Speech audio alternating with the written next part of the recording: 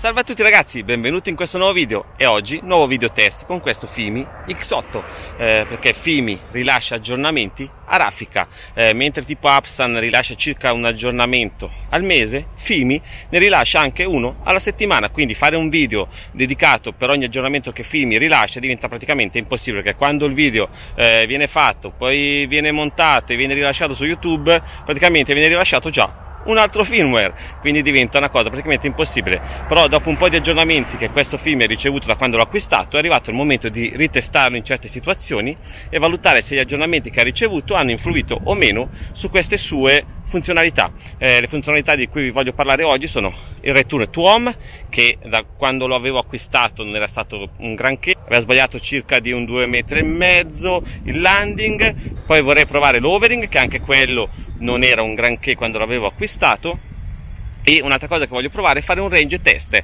eh, perché sarà uno degli ultimi range test che si possono fare prima di essere tutti marchiati. Eh, perché quando ci marchieranno tutti non potremo più fare nessun range test, anche se sono solo test di prova e di verifica di come un drone è in grado di comportarsi andando lontano, ma non tanto perché quello che la gente secondo me non ha capito, che il range test non serve solo per vedere un drone fino a dove va, che sì, ok, è interessante sapere, un po' come avere una Ferrari, sapere provare a tirarla per vedere se fai 350 all'ora, sì, è vero, quindi avere un drone che lo possiamo far andare lontano giusto per vedere quanto è in grado di andare, poi non è che si va in giro a 350 all'ora sempre come con una Ferrari e con un drone non si va comunque sempre nella sua massima distanza. Quindi il range test non serve per quello. Quello che eh, tanti non capiscono è che un range test serve eh, per vedere se un drone è in grado di andare, che ne so, a 800 metri, vuol dire che quando starà nei suoi 200-300 metri avrà un segnale fortissimo, quindi è un drone sicuro nel volare perché comunque avrà sempre una connessione stabile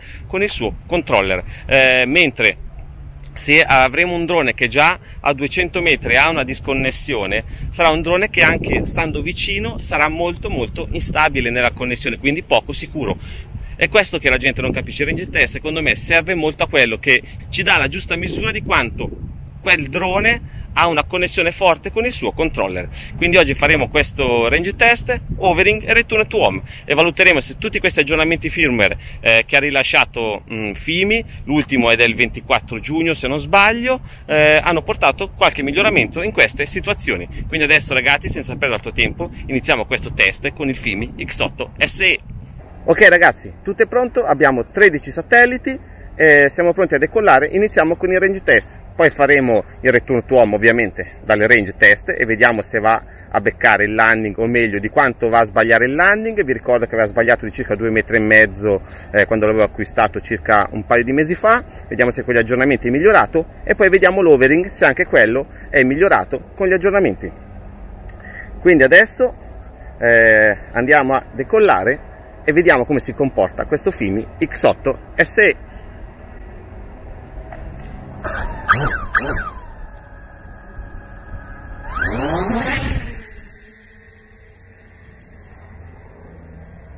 allora andiamo ad un'altezza di 70 metri. Ovviamente il film è sempre velocissimo alzarsi. Saliamo ancora un po' ok siamo a 70 metri. Adesso siamo pronti. Direzione in nulla come ho fatto con gli altri droni e ragazzi vi ricordo che i range test servono solo appunto come test e basta. Non si usa un drone a queste distanze si fa solo come test infatti si fa in posti tipo questo dove praticamente sono solo campi eh, o se no fatelo sul mare dove al massimo vi cade nel mare ed è un problema vostro ma non fate danni a nessuno eh, anche perché vi ripeto il range test è solo per capire il segnale quanto è forte e quanto veramente questo drone anche a 200 metri avrà un segnale sicuro e stabile. Quindi adesso andiamo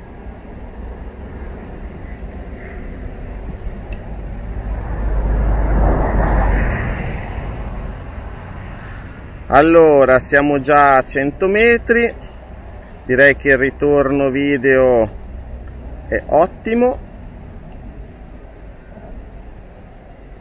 Siamo a 200 metri. Il ritorno video è sempre ottimo. Abbiamo 15 satelliti. Allora è velocissimo eh, questo drone quindi brucia i metri veramente in un attimo se lo si lascia impostato con le postazioni di default lo ritoccate appena appena ma rimane sempre molto molto veloce allora siamo già a 500 metri.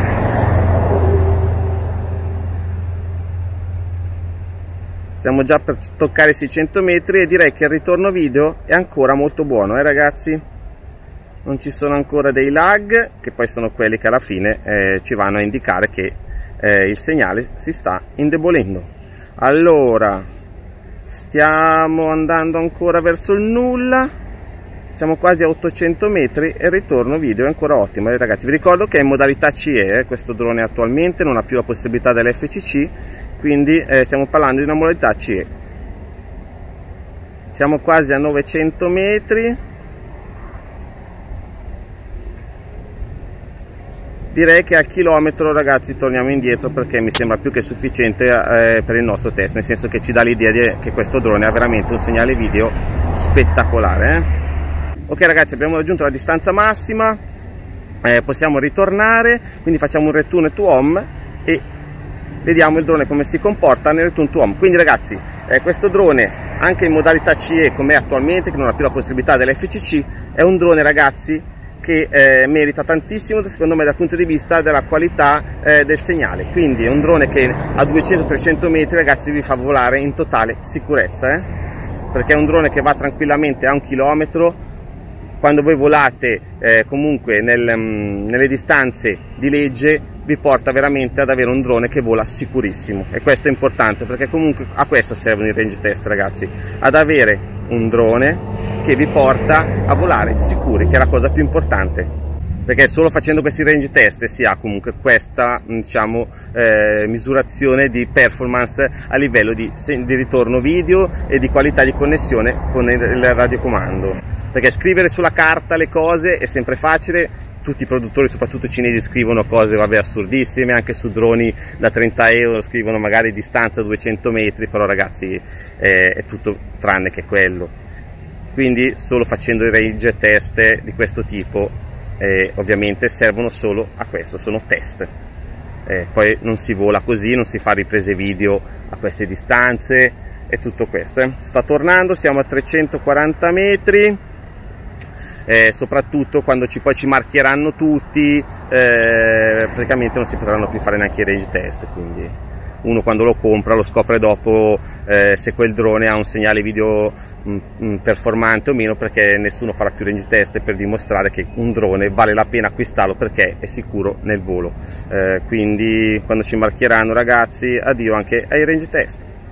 Fa un caldo pazzesco non so se si vede che sto sudando come una bestia ci sono circa 35 gradi quindi c'è un po' d'aria anche, l'unica cosa piacevole è quella che è aria caldissima ma almeno un po' d'aria, vediamo come si comporta dopo nel, nell'overing con questa arietta, sta tornando e sopra di me, vediamo se decide di atterrare giusto,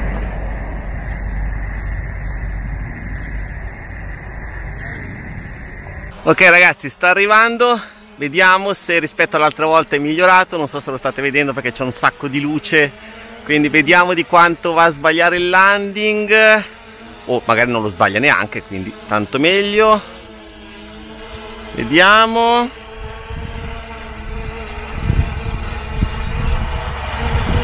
Vediamo di quanto.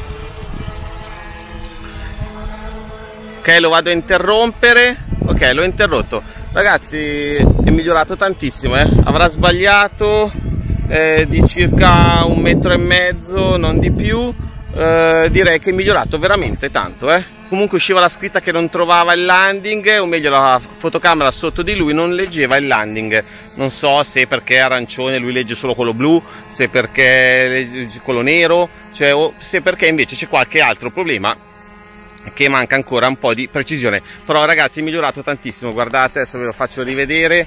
Eh, magari da questa inquadratura si vede meglio. Cioè vedete dove è il landing e vedete dove lui avrei sbagliato di circa un metro e mezzo non di più. Quindi comunque è migliorato tantissimo rispetto all'altra volta dove aveva sbagliato di circa due metri e mezzo anche tre.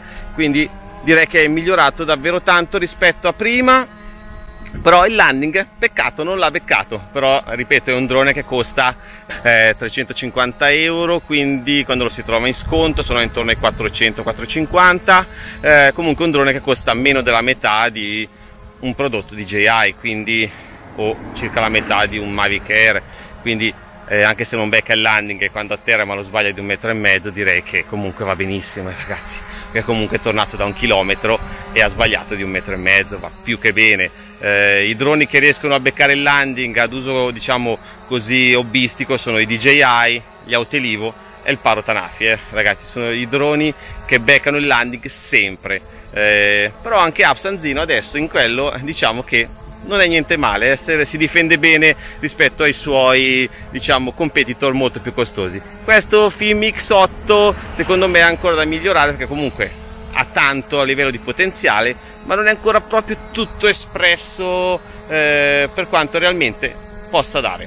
Quindi ragazzi adesso proviamo anche l'overing e così tiriamo le conclusioni su questo fantastico secondo me Fimi X8 SE cioè ragazzi guardate adesso com'è stabile, cioè veramente adesso è fermo, eh?